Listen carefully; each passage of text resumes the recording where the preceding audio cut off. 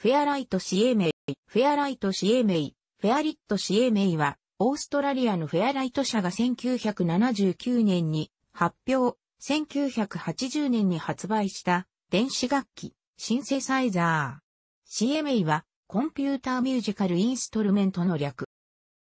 1980年代初頭より音楽制作の場においてデジタル技術やコンピューター技術の導入が盛んに行われるようになった。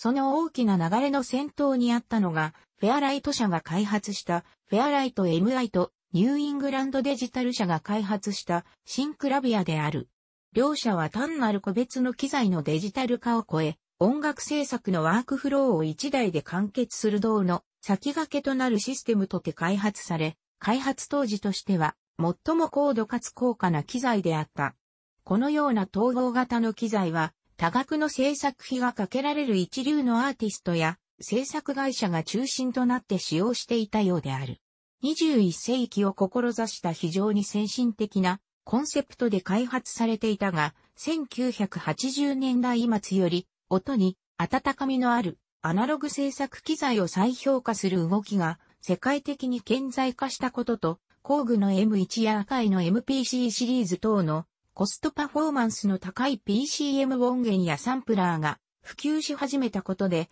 音楽制作におけるポジションを急速に失っていった。フェアライト・シエメイは当時大学生だったキム・ライリーとピーター・ボーゲルの二人によって発明された。後にライリーはフェアライト社を設立する。基本システムは OS-9、CPU はモトローラの6800、1983年発売のシリーズ X からは6809を2つ使用していた。サンプラーと倍音加算方式シンセサイザー、最大同時発音数は8音、簡易シーケンサー機能を有しており、CRT 画面にライトペンを当てて波形を直接書き込むことができるなど、ユニークな機能を有していた。これらの機能は、現在の DTM のベースとされている。また、英文ワープロとしても使用できた。サンプリングの性能は、シリーズ I の場合、サンプリング分解能が8ビット、サンプリング周波数が最大 30.2kHz と、現在のサンプラーと比較すると低いものであるが、アート・オブ・ノイズはそれを逆手にとって独特の音を作り出していた。この楽器で最も耳馴染みのあるサウンドは、俗に言うオーケストラルヒットという音で、トレバホーンをはじめ、電子楽器を得意とする数々の音楽家や音楽プロデューサーが好んで使用した。1985年に発売されたシリーズ E では、サンプリング分解能を16ビット、サンプリング周波数を 44.1kHz、最高で 100kHz まで可能と CDDA 並みに向上させた。日本で最初に同期を購入したのは、安静志向率いる TPO で、シドニーのフェアライト社まで直接買い付けに行ったという日本版入時、税関日本機を楽器と説明するのに大変苦労したという話がある。その当時のバージョンはまだシリーズ愛で、同期の売りの一つである限り、シーケンサーページ R はまだなかった。フェアライト CMA をメインの楽器に据えた TPO は同じくフェアライト CME をメインの楽器に据えたバンドであるアート・オブ・ノイズのデビューよりも1年早い1983年にデビューアルバムで、あ、TPO1 を発売した。日本で輸入販売が始まったのは1982年発売のシリーズ E からで、松下電気貿易が輸入を、販売は大阪の何和楽器、現 E フロンティアが担当していた。発売当時の価格は1200万円。世界中のプロミュージシャンたちがこぞって、フェアライト CMI を購入し、フェアライト社は、オーストラリア政府の全面バックアップのもと隆盛を極めていた。しかし、時代が進むにつれ、高音質のサンプラーや PCM 音源のシンセサイザー、 PC を使用した高機能の MIDI シーケンサー、 Pro Tools をはじめとするデジタルオーディオワークステーションといい、コストパフォーマンスに勝る電子楽器にとって変わられることになる。フェアライト CMI は8ビットサンプリング、2機の8インチディスクドライブを搭載。重さは本体が約 30kg、他にグリーンモニターと入力用の alphanumeric キーボード、そして専用キーボードが付属されていた。84年末頃から MIDI 改造版、改造費に約100万円必要に対応してからは、一部のユーザーは付属の専用キーボードを使用しなくなり、DX-7 などで対応し始めた。ただし、ローランド製のキーボードをマスターキーボードにすると、ローランド社のキーノートオフの設定がヤマハ製と逆設定だったため、キー ONG 鍵盤を押すタイミングのことに音が出ず、キー、オフ時、鍵盤を離すタイミングのことに音が出るという癖があった。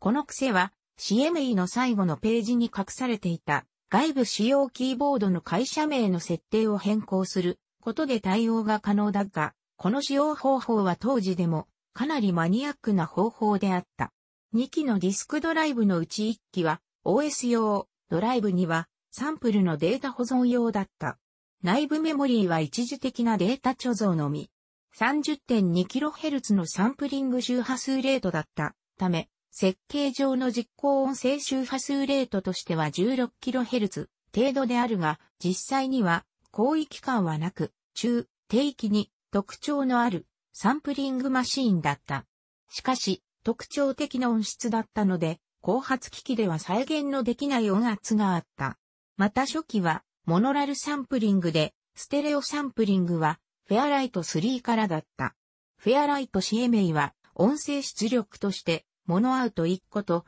8個の単独音声出力を装備。各単独音声出力は、モノフォニックだった。フェアライト3からは、ステレオ出力と16個の単独音声出力が装備されていた。また CMA の特徴として、ページマイナス7の音声エディット内にサンプリングマシーンしては、異例のポルタメント機能が装備されており、サザンオールスターズの鎌倉の1曲目のコンピューターチルドレン内の感想ブレイク部分で、オケ全体をサンプリングしたポルタメン演奏を聴くことができる。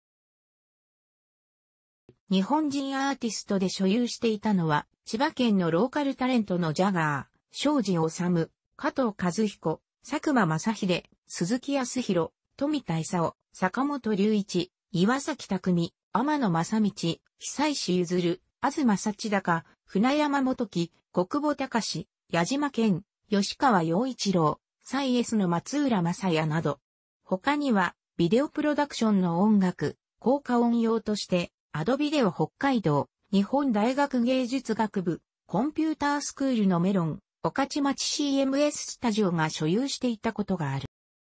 例として、安西が音楽を手掛けた映画、ウル星やつら、オンリーユー、久石が音楽を手掛けた映画、風の谷のナウシカや、天空の城ラピュタ、坂本の音楽図鑑、未来ハヤロー、サザンオールスターズの鎌倉に多用されている。シンセプログラマーでは、藤井武史や関島正樹など、坂本所属のよろしたミュージック一派が、レコーディングスタジオ中心に使用していた。坂本は1986年中盤からフェアライトシエメイの後継機であるフェアライト3に使用を切り替え始めたが赤い性のサンプラーが登場し始めた頃からポジションを失い始めた。いずれにしても80年代から90年代初頭にかけて全盛期を誇った。2011年のウィンターナムにおいて、ボーゲルは2009年に自ら設立したフェアリットインストラメンツ社からフェアリット CME-30 A30th アニバーサリーエディションを発表した。システムとしてはオリジナルと違い Windows PC ベースであるが、その分パワーは現代の技術に沿ったものとなっている。液晶ディスプレイを使用し、天気があった場所には iPod のスペースが設けられており、波形編集が可能。最大同時発音数は24音で、シーケンサーは24トラック仕様となっている。その一方で、オリジナルのフェアライト独特のサウンドも出せるように、わざとスペックを下げて使用することも可能になっている。また筐体もオリジナルをかなり忠実に再現している。ただし本製品は100台のみの限定生産である。価格は2万オーストラリアドル、165万円前後。